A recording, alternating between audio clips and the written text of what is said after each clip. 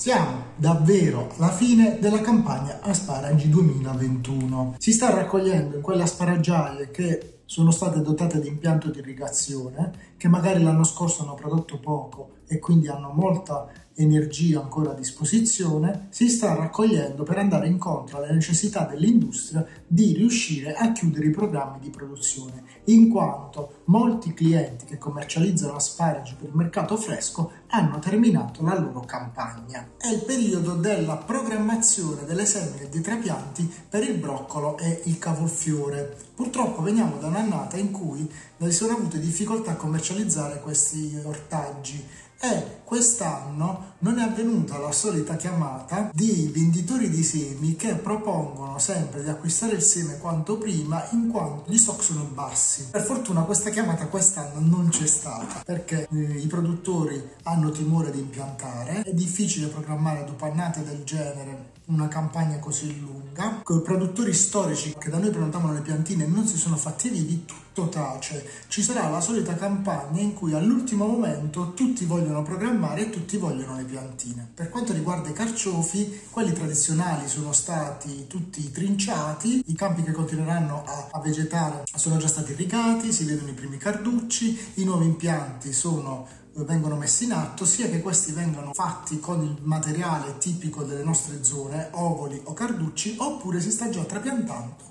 il carciofo ibrido da seme. Per quanto riguarda il pomodoro, è in uno stato di salute eccellente, con andamento climatico piuttosto fresco, poco umido e adesso si comincia ad andare verso il caldo, ci sono dei campi veramente veramente belli. Non ci sono problematiche fitopatologiche, l'unica problematica da curare è la necessità imminente di aumentare i quantitativi di acqua da dare al pomodoro. Vedo troppi campi i cui conduttori danno lo stesso quantitativo di acqua nonostante le temperature sono nettamente aumentate negli ultimi giorni. Per i peperoni, monitorando un campo piuttosto grande di circa 12 ettari, ho trovato due piante, dico due, attorno al cui apparato radicale c'erano questi, eh, queste larve che non sono ferretti, sono riuscito a fare delle fotografie, un piccolo video. Queste immagini non rendono l'idea delle dimensioni che erano veramente infinitesime, più piccole, forse una mina di una matita, una micromina di una matita. Ho girato tutto il campo per trovare altri esemplari del genere, non li ho trovati.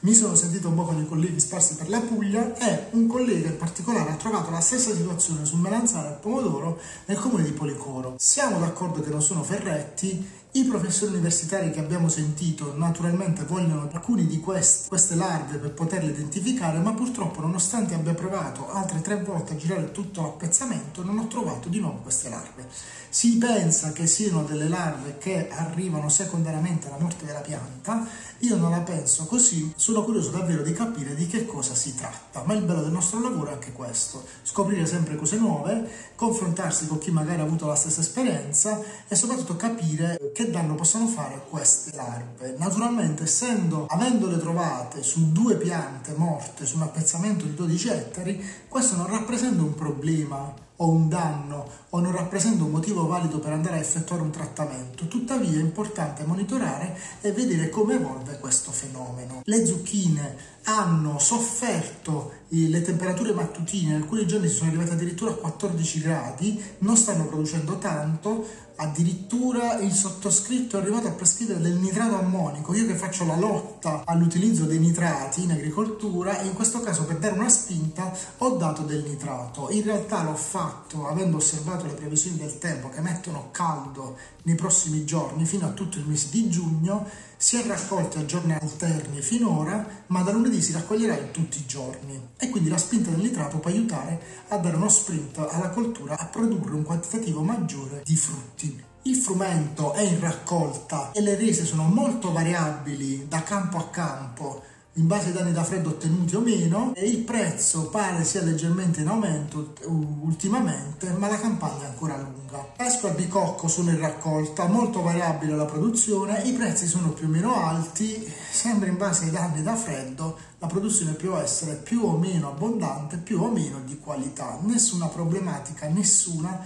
fitopatologica. La stessa cosa dicasi dell'olivo, in realtà nell'olivo, secondo me, a discapito di quanto si è visto durante la fioritura, questi alberi abbondantemente pieni di fiori, c'è stata una cascola abbondante e sicuramente ciò è dovuto anche all'andamento climatico con picchi di temperature in alto che hanno fatto colare i frutticini. È ancora presto per tirare le somme, tuttavia essendo i, i piccole olive nella fase di accrescimento vanno protette con dei trattamenti contro lepidotteri, forse ancora presto per la morte mosca, comunque va tenuta la situazione sotto controllo e va somministrato, questo è il periodo migliore per somministrare l'uria agli ulivi. Per la vite, stessa cosa, si stanno ingrossando gli acini, bisogna cominciare a pensare ai trattamenti contro la lobesia e il trattamento che va fatto in prechiusura grappolo. Nelle varietà con grappolo molto serrato è importante andare a, uh, co- coprire, a proteggere il grappolo prima che gli acidi si ingrossino e lo chiudano e non permettono l'ingresso delle molecole contro la muffa. C'è una discussione in atto sull'efficacia delle varie molecole, ognuno è meglio che sceglie in base alla propria esperienza Bisogna continuare a trattare contro peronosporoidio, assolutamente, questa è la fase più pericolosa per l'oidio soprattutto. Aspettare ancora qualche giorno che cominci il volo della lobesia e mettere in preventivo il prechiusura grappolo contro la muffa grigia e gli insetti fra qualche giorno. Il consumo dell'acqua è dell'ordine di un milione di metri cubi al giorno, acqua ce n'è tanta, i consumi sono elevati, godiamoci questo caldo e aggiorniamoci a breve.